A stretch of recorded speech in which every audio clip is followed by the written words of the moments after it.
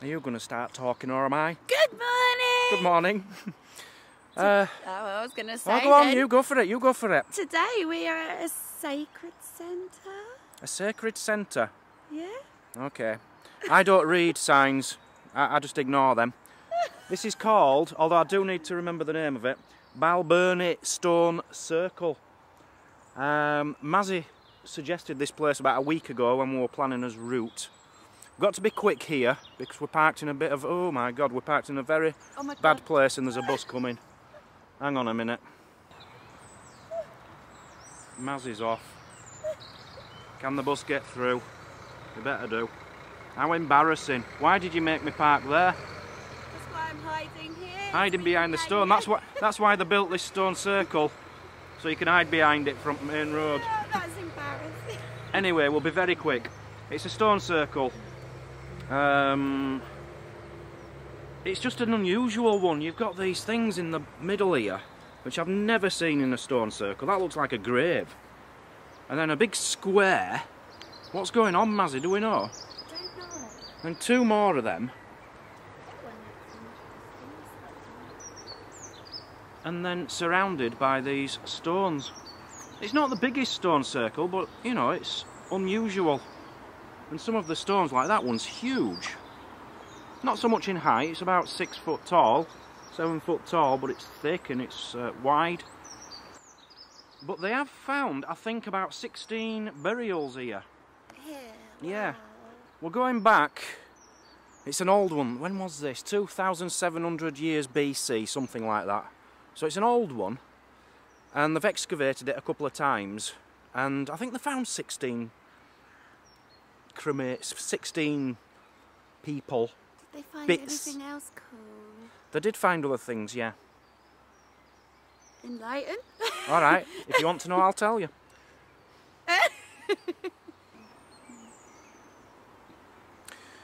So amongst the objects which they found are a flint knife as well as jet button and jet beads. That's a little black stone which is you get on the east coast of England in just a small part near Whitby. It's not available in most places around here. Um, and a complete food container. That's unusual, isn't it? What, like a lunch? Like a plastic lunchbox. I don't know. Uh, and yeah, signs of bodies. But that gets me onto the question because people keep saying, what are stone circles actually for? Nobody seems to know. But if they found burials here, they found burials at Stonehenge, surely that answers your question. They are for burials. There must be. Um, but yeah, it's nothing special. We're just passing. Thought we'd see it because this is different. I've never seen this before in a stone circle. Right, let's move this van before someone plays out with us. Come on. So we've arrived in Kirkcaldy. I've got good memories of Kirkcaldy. Came here when I was about 19 and stayed with a friend. There was about five of us stayed at this lad, Scottish lad's house who lives in Kirkcaldy. And I was introduced to Lorne sausages, which to you guys is square sausages. They're the future. I first found out about them right here in Kirkcaldy.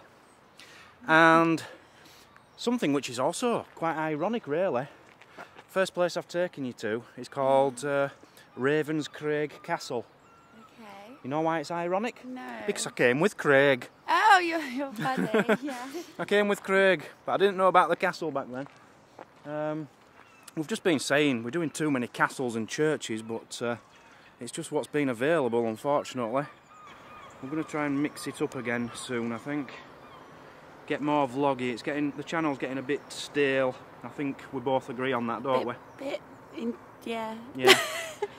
so anyway, we're gonna can't do anything about it today. Don't know what that is out there. Can you see it, Mazzy? Yeah, I don't know. It's like a little shipwreck or yeah. something. So the only boring history I'm going to give you is that it they started building it in 1460 and it was captured by Oliver Cromwell's troops in 1651. That's all I know about it. That's all I'm going to tell you unless we find things on information boards. It's just an exploring thing, but it looks quite good for a free castle, doesn't it? Yeah. We can actually walk in over the mm-hmm. drawbridgey thing.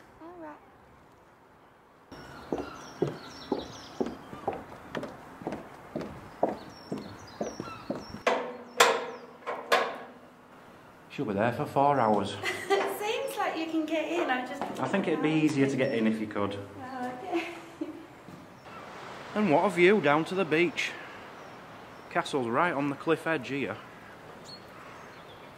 Oh, have you seen that butterfly down there, Mazzy? I just saw a butterfly in there and it was like the size of a cat. It was the biggest butterfly you've ever seen in your life.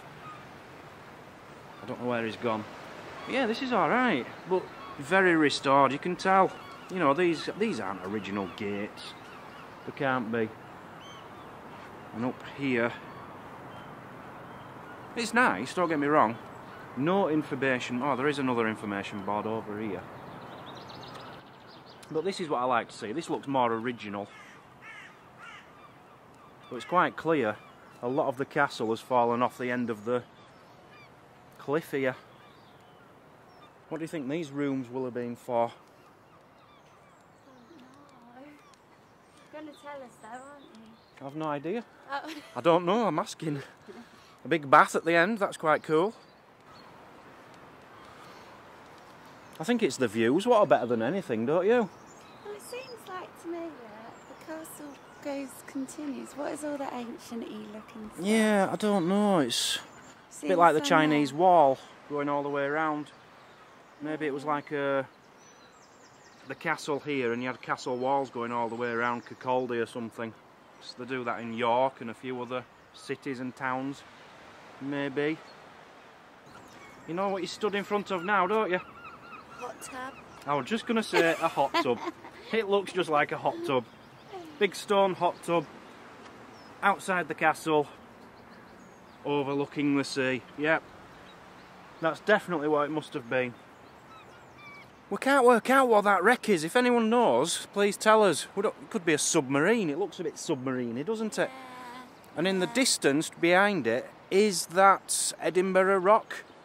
Never been in Edinburgh, so I don't really know what Edinburgh Rock is, but I think there's a castle on top of a big mound, and that looks like a big mound in the direction I would guess Edinburgh is in. I don't know, I don't know. So this information board gives you a really good idea of what it would have looked like. I knew it would have looked fantastic. You can tell. It looks really nice.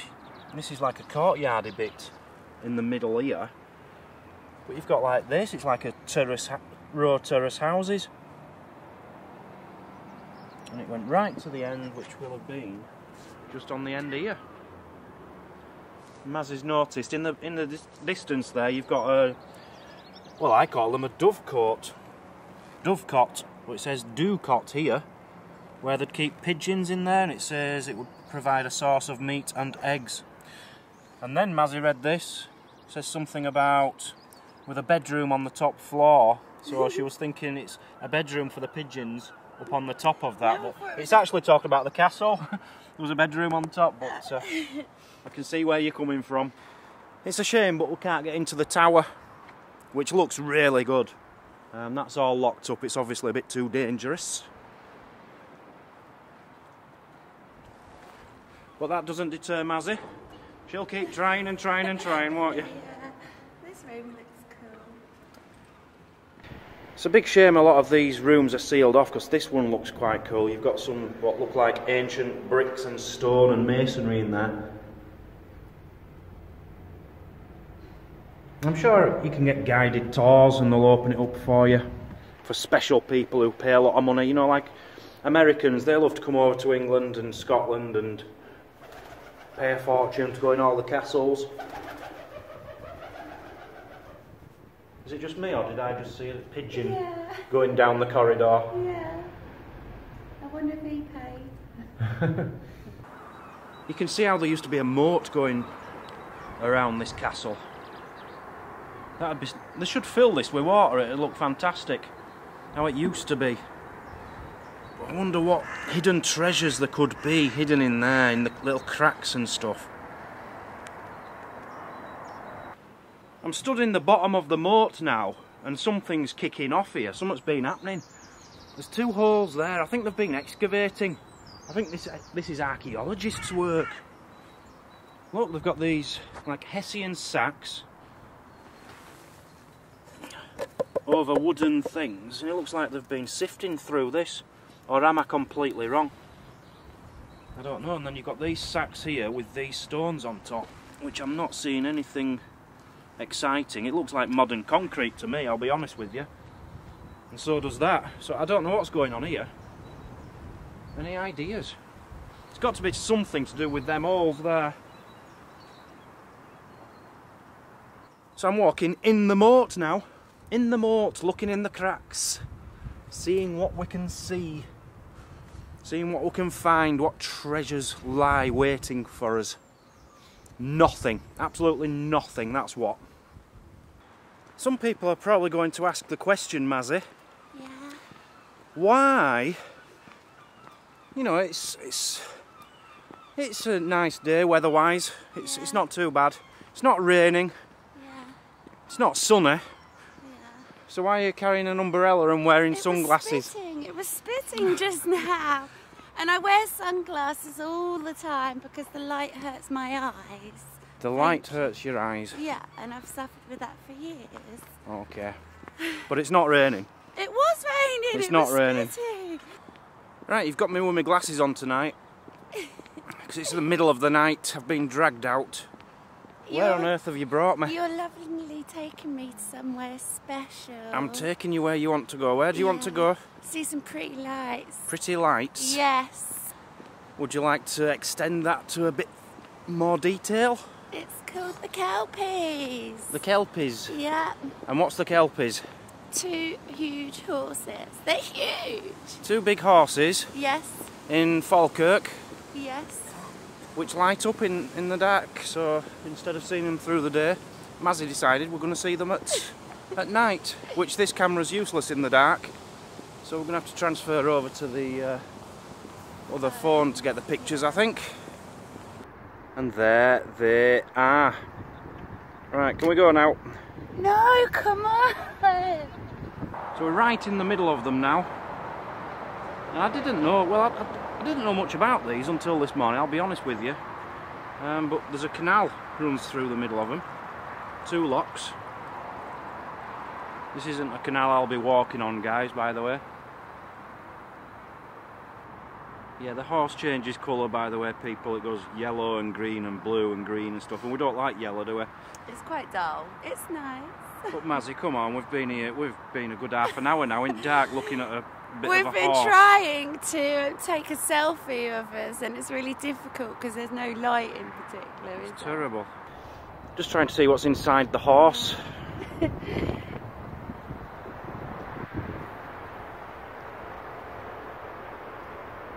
if you've ever wondered what it looks like inside a horse.